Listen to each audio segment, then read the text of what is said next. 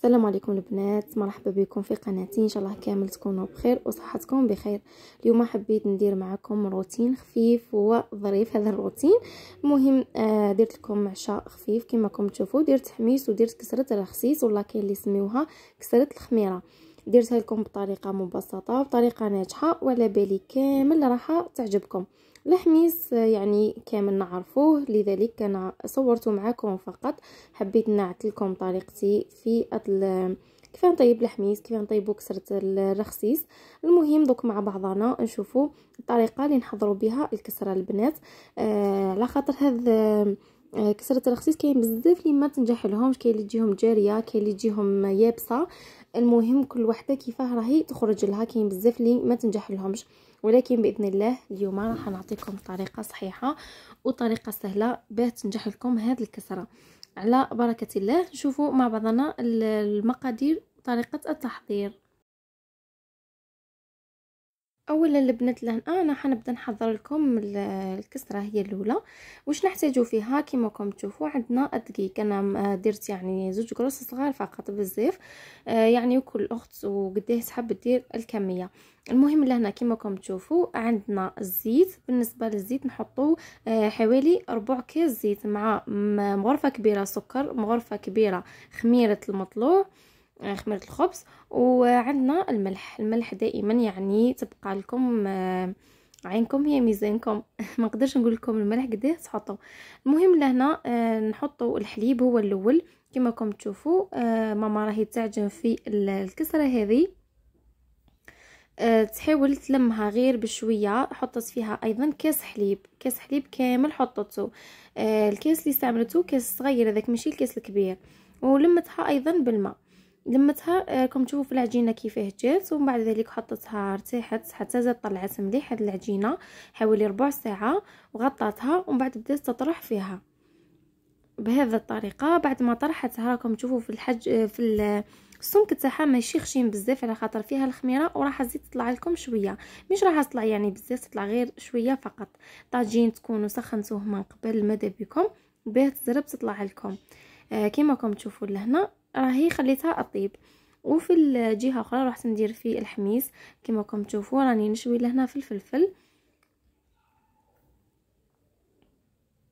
انا لهنا البنات الحميس من يعني كي تكونوا تقشروا فيه على بالي كاين بزاف ينحيو غير هذيك القشوره الكحلة هذه بعد ما تشويوه ديروها غير بالموس. ولكن أنا آه راني نديرها بال نديرها بالماء نغسلو بالماء باه تجيني سهلة الخدمة وتجيني نظيفة. يعني ما نحبش يبقى لي فيه ديك الكحولة نهائيا. هكذا بعد ما شويته كامل هو والطماطم حطيتهم في ساشي آه طماطم حطيتها في طبسي برك والفلفل حطيته في ساشي حتى وين زاد تطلق مليح باه من بعد كي نغسلو يجيني سهل. آه كما راكم تشوفوا لهنا. قلت لكم هذه طريقتي. أنا يعني الفلفل نخصلو أحسن من إني نديرو بالموس. يعني ديك القشور هذا أه تنحيوه بالموس ولكن من الأفضل إنكم تنحيوه بالماء أحسن.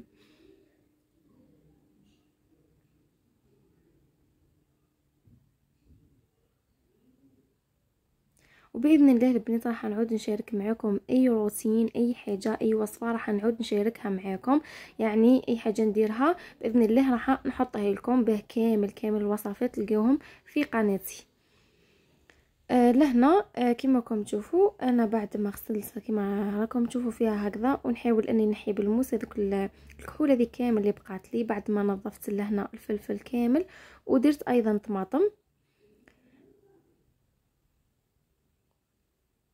لهنا بديت نقطع فيه وبالنسبة لتقطيع بالنسبة لتقطيع لهنا البنات أنا الحميس نحب نقطعه يعني يكون آه صغير ما نحبش ما نحبوش يعني يكون مقطع خشين بزاف آه هكذا أنا نقطعه بهذا بهذا السمك كيما راكم تشوفوا ومن بعد نزيد نقطع طماطم وحطيتهم في مقلة مقلة حطيت لها شوية زيت آه باه ما يلصقليش الحميس ومن بعد آه حطيت طماطم الفلفل حطيت لها شوية ملح وأيضا البنات أنا الحميس نحطو فيه الطماطم تاع العلب.